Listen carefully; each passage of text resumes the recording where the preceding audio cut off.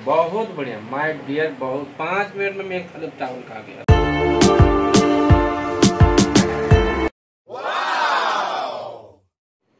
Friends नमस्कार। Welcome back to my channel तो friends आज की रेसिपी जो है, देखिए, बहुत ही यूनिक है फ्रेंड्स जो कि आप सब बनाते होंगे, लेकिन मैं आज जो ट्रिक बता रही हूँ, वो बहुत ही न्यू है और एकदम यूनिक है फ्रेंड्स ये विदाउट लहसुन प्याज की, ये देखिए आलू बैगन की सब्ज़ी है, और ये इतने टेस्टी बनेंगे कि हाथ चाटते रह जाएँगे। और फ्रेंड्स इतने टेस्टी बनते बिना लहसुन प्याज के कि आप लहसुन प्याज भी नहीं डालोगे कभी इस तरह के अगर बना ना शुरू कर दोगे। तो फ्रेंड्स चलिए इसको बनाते हैं। उसके लिए मैं यहाँ देखिए बैगन ले ली हूँ। 500 ग्राम बैगन है और उतने ही आलू है। पाँच से छः सौ ग्राम आलू है। और दोनों को मैं काट ली हूँ और धो ली है फ्रेंड्स और देखिए छोटे छोटे पीसेज में बहुत ज़्यादा बड़े बड़े में नहीं है फ्रेंड्स दोनों को एकदम फिंगर मतलब एक फिंगर को जैसे होता है वो दो टुकड़े में वैसे ही एक एक इंच जैसा काट ली हूँ और यहाँ कुकर गर्म है। मैं आज कुकर में बना रही हूँ। और विदाउट एक बूंद पानी का ये सब्ज़ी बनने वाली है फ्रेंड्स क्योंकि हर सब्ज़ी में अपने उसके पानी होते हैं फ्रेंड्स कि आप उसको सही तरीके से अगर पकाओगे तो उसका टेस्ट इतना अच्छा आएँगे कि आपको बाहर से बिना पानी डालने की कभी ज़रूरत नहीं पड़ेंगे और नहीं डालेंगे तो इतने टेस्टी वो बनेंगे, क्योंकि खुद के पानी में वो पकेंगे भी और रस भी छोड़ देंगे। तो फ्रेंड्स यहाँ देखिए ऑयल ले ली हूँ और यहाँ ऊपर से पंचफोरन और लाल मिर्च डाल दिए हैं दो। बस ये तड़क गए हैं। अब चलिए इसमें सब्ज़ी डाल देते तो सबसे पहले यहाँ जो सब्ज़ी डालना है फ्रेंड्स वो आलू डालना है। आलू क्योंकि अच्छी तरीके से धो के रखे हुए हैं और उसका पानी सारा निकाल दें फ्रेंड्स। एक बूंद भी पानी नहीं रहना चाहिए देखिए। और डाल दिए हैं और फ्रेंड्स इसको एक मिनट के लिए छोड़ देंगे इसी तरह क्योंकि अभी जैसे सब्ज़ी डाले तेल उड़ने लगा है तो ढक्कन को ऊपर से रख दी हूँ। बस एक मिनट के लिए और एक दो बार इसको चला लेंगे उसके बाद देखिए अब चलिए इसका ढक्कन हटा के चला देते हैं। इसको एक मिनट के लिए ऐसे ही फ्राई करेंगे और फिर उसके बाद यहाँ मसूर का दाल धो के रखी हुई थी उसको यहाँ डाल दिए हैं।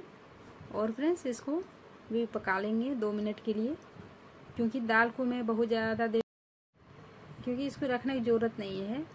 ये बहुत जल्दी सॉफ्ट हो जाते हैं मतलब घुल जाते हैं। तो ये बैगन के साथ ही घुल जाएँगे। और देखिए, इसको मैं दो मिनट के लिए फ्राई करूँगी। जब तक कि पहले यहाँ मैं नमक वगैरह कुछ भी नहीं डाली हूँ। पहले इसको अच्छी तरीके से पका लेते हैं। देखिए, कुछ भी यहाँ नहीं। मसाले डालने के बाद क्या होता है? जलने लगते हैं। तो यहाँ दो मिनट में पका ली हूँ। उसके बाद यहाँ दो चम्मच भर के धनिया पाउडर डाल दिए हैं और एक मतलब आधा चम्मच जैसा, एक चम्मच से थोड़ा कम था, वो मैं काली मिर्च पाउडर और ये देखिए कुटी हुई लाल मिर्च है फ्रेंड्स। इसलिए आपको लाल नहीं दिख रहे होंगे। कुटी हुई लाल मिर्च है, इसको भी यहाँ एक चम्मच डाल दिए हैं तीखा के लिए। उधर हरी मिर्च भी डाले हुए थे।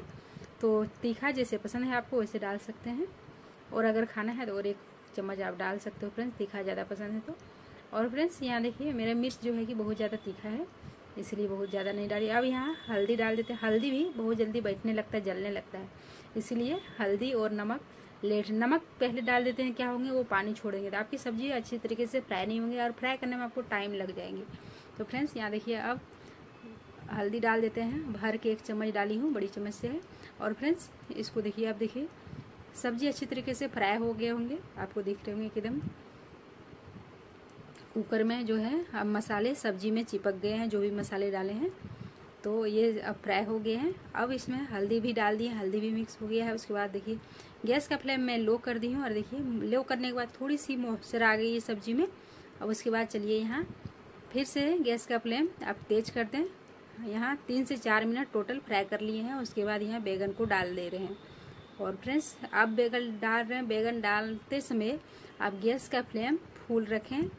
क्योंकि ये अगर आप गैस का फ्लेम लो करते हैं तो बैगन अच्छी तरीके से पकते नहीं, उसका कलर ख़राब हो जाते हैं और वह थोड़ा सा कच्चा कच्चा टाइप का रहता है, ठीक से वो सॉफ्ट नहीं होता है। तो देखिए, इसको मैं डाल दी हूँ और इसको भी छोड़ दिए इसी तरह।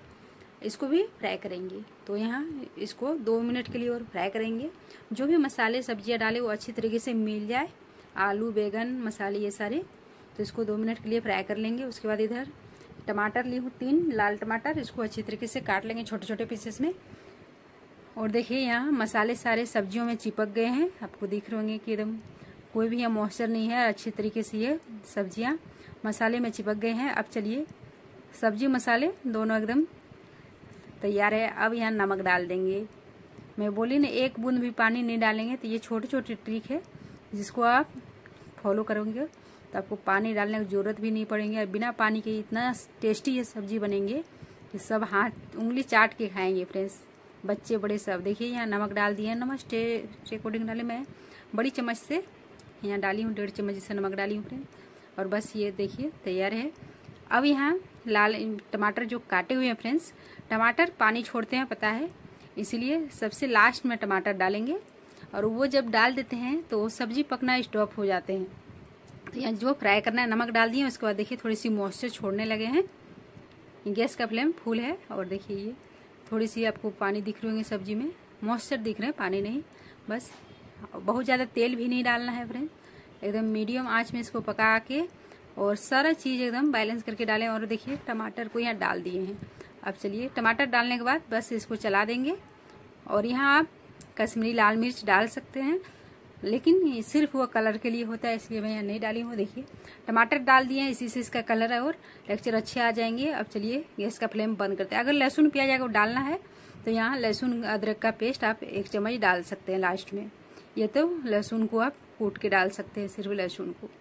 तो फ्रेंड्स यहाँ देखिए, गैस का फ्लेम मैं एक सीटी लगा ली हूँ फुल फ्लेम में और दूसरे में मैं एकदम लो कर दी थी और लो करके बस चार मिनट के लिए पका ली हूँ, उसके बाद देखिए ये एकदम खोल, एक सीटी लग गया, उसके बाद फिर खोल दिए। टोटल दो से तीन सीटी लगा लिए और ये देखिए खोले हैं और इसका देखिए टेक्सचर एक बूंद भी बिना पानी का, इसका ग्रेवी कितना अच्छा आया है।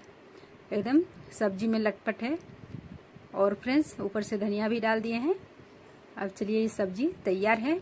रोटी के, चावल के साथ, किसी के साथ भी खाएँ फ्रेंड्स बहुत ही टेस्टी ये सब्ज़ी बनते हैं। दाल के जगह इसके साथ आप जो दाल भी डाल सकते हैं। या तो फिर आप दाल बनाए हो बच गया है फ्रेंड्स तो लास्ट में सब्ज़ी में जब नमक डाल रहे थे उसमें आप दाल डाल दें तो भी सब्ज़ी बहुत ही टेस्टी बनते हैं। एक बार ज़रूर ट्राई कीजिएगा। और आप सबको ये रेसिपी कैसी लगी आज की ज़रूर बताइएगा फ्रेंड्स और पसंद आई तो लाइक शेयर एंड सब्सक्राइब कर लीजिएगा फ्रेंड्स बाय बाय मिलते हैं नेक्स्ट वीडियो में। Thanks for watching take care यार बहुत बढ़िया। माय डियर बहुत पाँच मिनट में मैं एक थाली चावल खा गया।